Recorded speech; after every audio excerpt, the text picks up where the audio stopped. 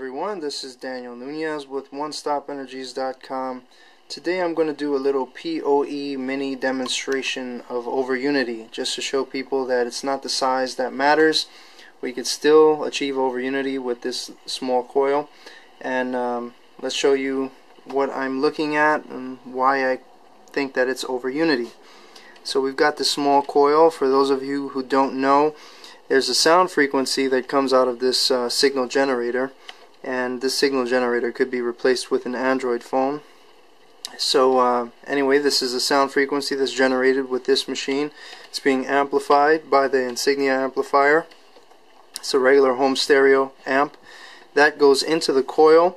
We're measuring amperage voltage and the power with an analog meter then it comes out of the coil and into the LED panel where we're also measuring amperage, voltage, and power with another analog meter.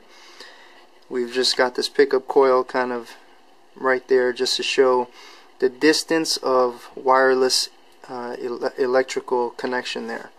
So let's go ahead and turn it on.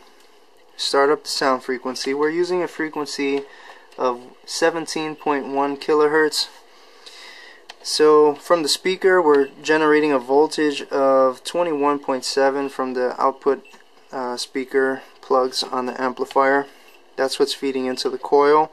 We're looking at 0.7, 0.074 milliamps. Alright, and look at our power is over here.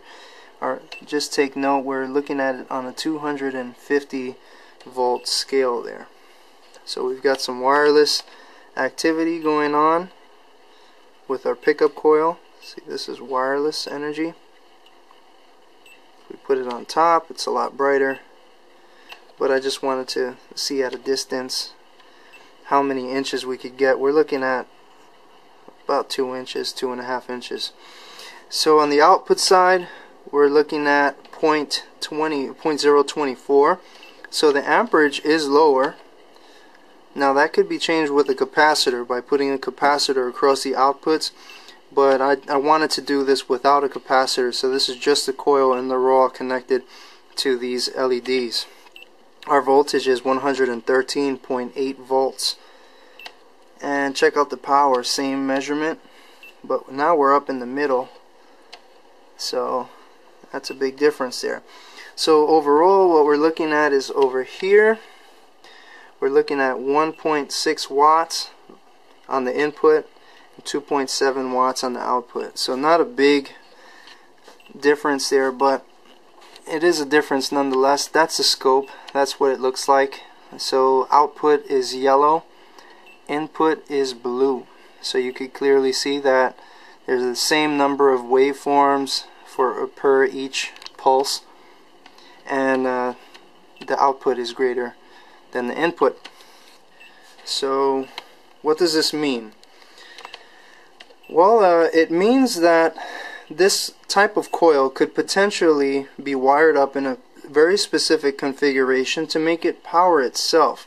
And that's the ultimate goal here. We want to have these coils self-powering. We want to somehow recapture the extra energy that's coming out of the output end and loop it back around. So that may mean storing a bank of capacitors. So you know we have a bunch of different types of capacitors here, and we've been experimenting with that. But nonetheless, it's a it's an interesting concept that needs a bit more analysis. Not to mention, if I go ahead and I disconnect those LEDs and I just leave this coil open-ended pulsing, it will start creating a large amount of ozone and it sprays out directly from the center of the coil.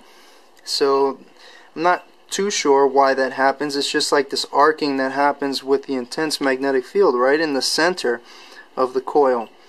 So um, nonetheless, I mean, in practical terms, this means that we could essentially create technologies that are far more efficient. And um, regardless if they power themselves or not, it's always amazing when you have something like this just demonstrating that you could clearly get more power on the output side than the input side. So that's where we're at today. It's the same thing that we've been demonstrating for quite some time now. but we're we're basically looking to implement these things in whatever avenues that we can implement them in, whether it's pulse therapy, high voltage lighting, or what have you. So, just wanted to touch in, let you all know that over Unity is possible with the PoE Mini, and let you know that they're available on the website. That's shop.onestopenergies.com. And uh, please feel free to post this, share it with your friends. Let people know that energy efficient technologies are here today and they just need a bit more attention. So, thank you all for watching. Thank you for sharing.